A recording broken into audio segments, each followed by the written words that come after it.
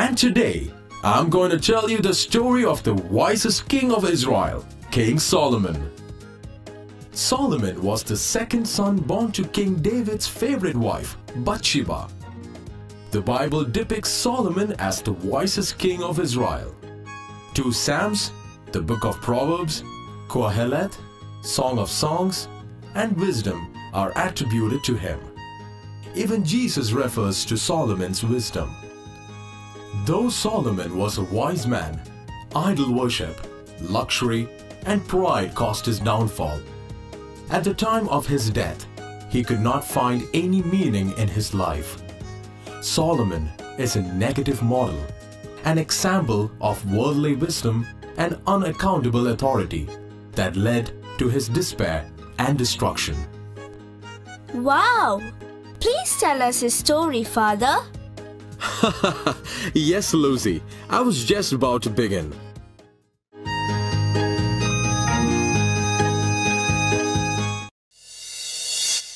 With the help of his mother, Bathsheba, Solomon secured the throne of his father, David. David died soon after, and once he became the king, he eliminated all his enemies one by one.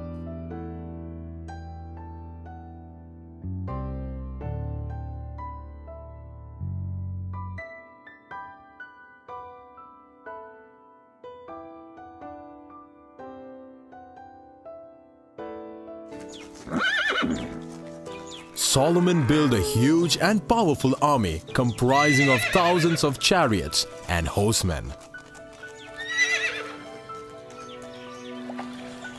He also had a mighty fleet of hundreds of ships.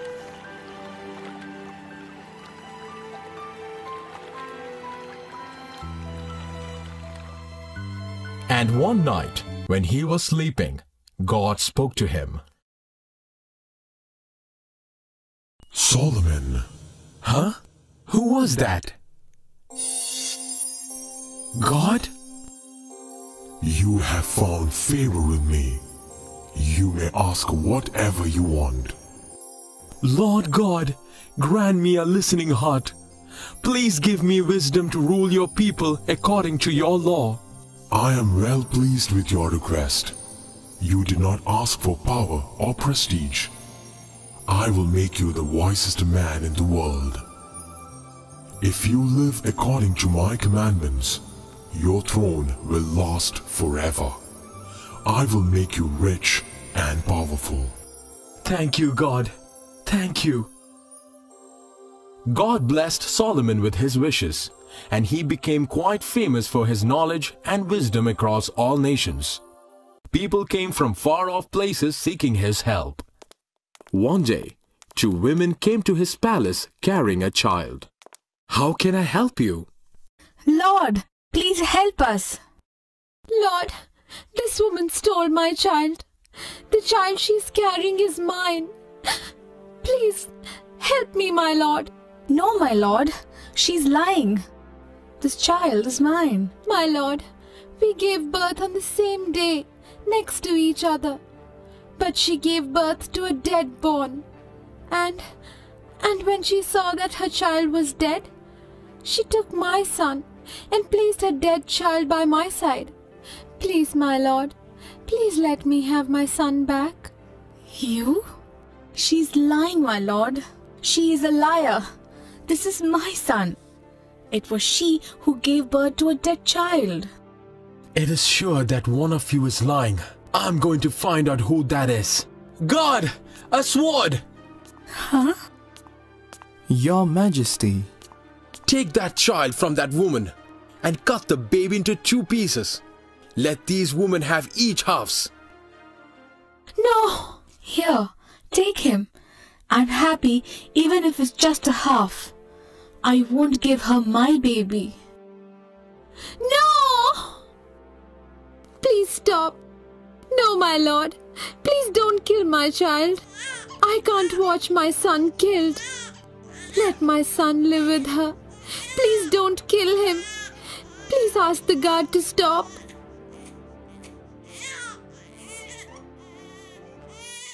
Ha! Now we know who's the true mother of this child. She is his true mother. A mother would always value her child's life more than her own.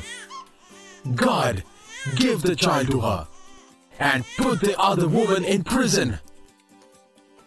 No, please. I'm sorry. Thank you, my lord. Thank you so much. Like this, many people came to Solomon seeking justice and wisdom. Solomon was known as the wisest man in the Middle East. He composed thousands of songs and proverbs. He also began the construction of a grand temple. Excellent craftsmen from the country supervised the construction. He also encouraged writers, and they began to write the history of Israel. And a magnificent temple was built in seven years. He founded the schools for politics and law. Scholars from various lands lived at his court. He encouraged discussions among the scholars of law. He also encouraged various science such as botany, zoology and astronomy.